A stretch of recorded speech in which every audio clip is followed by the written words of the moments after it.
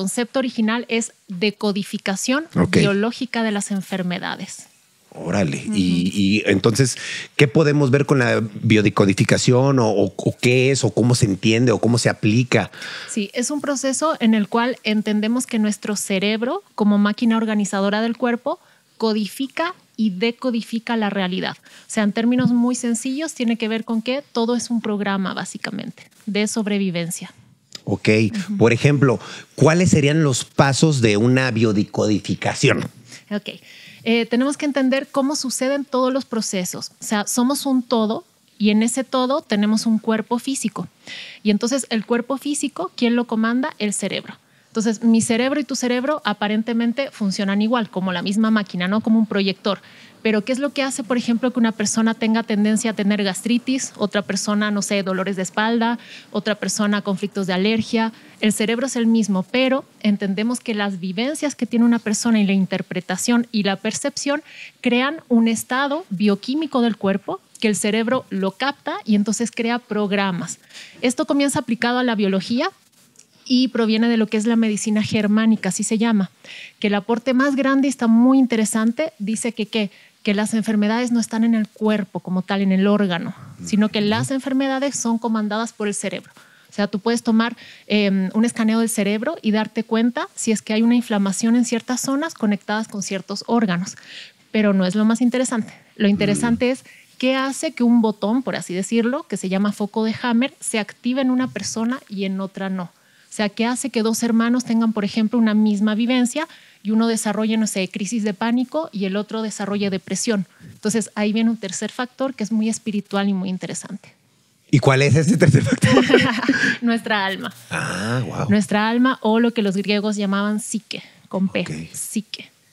Y entonces nuestra psique es quien tiene que toda la información, ahí nos pasamos a un tema como más místico si tú quieres, es la información no solo de las vivencias que has tenido pues tú, lo que te ha dolido, lo que te ha impactado, lo que no has superado, lo que está en el inconsciente, digámoslo así, pero también lo que traes como historia de tu alma. De hecho, las neurociencias ya descubrieron que qué, que el alma realmente no está aquí por primera vez y va a seguir estando oh. posiblemente a menos que alguien se ilumine, ¿no?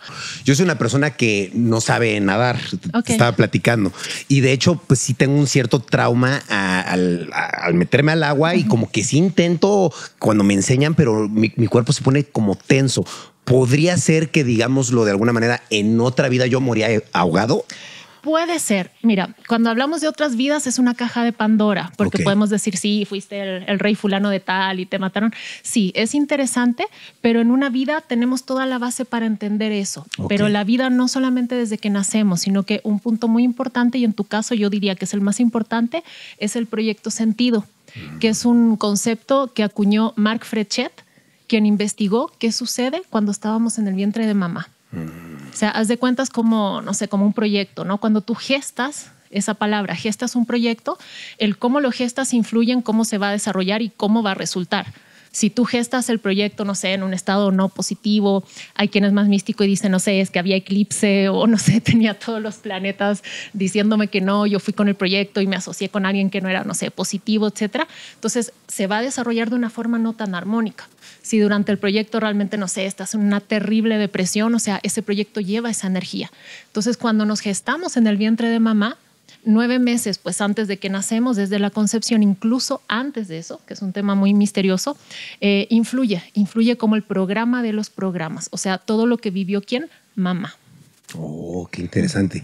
Entonces, por ejemplo, ¿cuál dirías tú que es el tema por el que más eh, la gente recurre a ti? Bien, todo esto te estoy hablando un poco de biología, pero lo podemos aplicar a relaciones, a economía, al final de cuentas, a todas las áreas de la vida, porque el cerebro no solo te programa una disfunción de un órgano o que crea o destruya masa, sino que te programa a quién vas a conocer, cuándo, por qué, por qué calle estás pasando, qué va a suceder, por qué estás un día sí, un día no. Entonces, todo es una programación que tu cerebro ahora sí que constela con esta realidad. Y eso tiene un origen, o sea, tiene un sentido. A mí lo que me apasiona de la biodescodificación es entender, a ver, ¿por qué y para qué? ¿Por qué y para qué? Porque si no, este mundo no tiene ninguna lógica. Y la biodescodificación tiene muchas leyes que son también leyes físicas de por qué suceden las cosas, que es lo que a mí más me apasiona. En específico, ¿qué recomiendas a la gente que puede hacer con la biodecodificación? O sea, si alguien dice, yo me lo quiero hacer, ¿por qué lo debería de hacer o, en qué se puede dar cuenta que lo necesita? Sí, es un proceso, no es como que le voy a hacer a alguien una biodescodificación. A mí me gusta mucho ¿por qué? porque la persona se confronta, uno, a qué quiero la vida, qué estoy haciendo, qué no estoy haciendo, qué cosas tengo no resueltas. Entonces, ¿por dónde empezamos? Por lo que está atorada la gente. O sea, ¿qué conflicto traes? ¿Qué enfermedad a veces? ¿Qué situación? Y no, pues es que me pasa esto en mi vida, no sé, eh, con mi pareja. No, es que desde toda la vida he tenido conflictos con mis rodillas. Entonces vamos entendiendo de dónde viene eso. Y es increíble que cada órgano del cuerpo, y eso ya está incluso comprobado, está conectado a un programa biológico y a una emoción o un conflicto emocional. Entonces, una persona puede llegar y me puede decir, no sé, las enfermedades que ha tenido toda su vida y yo puedo saber en automático todos sus conflictos psicológicos y más profundos aún. Ok. Eh, por ejemplo, eh, yo estaba viendo, eh, no me acuerdo cómo se llama, bueno, leyendo y viendo el curso de Joe Dispensa de Sobrenatural, que él justo dice que pues las enfermedades uno las crea con la mente, ¿no? Y tú veo que tú reiteras esto, ¿no? Entonces, yo te quisiera preguntar, todas las enfermedades que tenemos sí las creamos con la mente o hay algunas que luego te dicen, no es que la heredaste porque tu papá tenía diabetes y tú también tienes diabetes. ¿Realmente sí la heredas o más bien con la mente tú la creas porque la ves y la haces posible? Sí, mira, es un todo, porque te diría sí y no. Es como alguien que dice, no, es que me dio ciática porque estuve cargando cajas. Entonces mm. dices, es real que estaba cargando cajas, entonces me da ciática. Pero el por qué y para qué resulta que tú te dedicaste a cargar cajas tantos años tiene un sentido y se va a conectar con la misma emoción que sería una posiblemente desvalorización o un miedo hacia el futuro por situaciones que vivió la persona. Entonces, son muchos caminos para una enfermedad. Ahora, una enfermedad, mira la definición que es totalmente diferente. Una enfermedad no es algo negativo, sino que es un programa de ayuda de tu cerebro es totalmente contrario. O sea, una enfermedad no surge como algo malo que viene a tu vida, sino que es un revelador de conciencia. Digamos, es como una alarma de que algo no, estás, eh, no lo estás haciendo bien. Exacto, tu cuerpo es la pantalla y te va a reflejar qué está sucediendo a nivel muy interno en tu psique.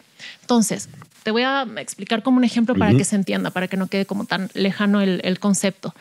Em, un niño de, de 8 años de pronto ve que, no sé, su mamá va y lo golpea duramente. Y entonces el niño no tiene un referente de cómo solucionar eso. Y entonces el cerebro es como que dijera, ok, hay peligro de muerte, porque sabemos que si alguien, no sé, te da una bofetada, no te vas a morir. Pues no. Pero bioquímicamente, cuando estás frente a un acantilado, son las mismas señales que envía tu cuerpo, taquicardia, manos sudorosas, se dilatan las pupilas, que si tu mamá te golpea. Es el miedo, es el susto, emociones, ¿no?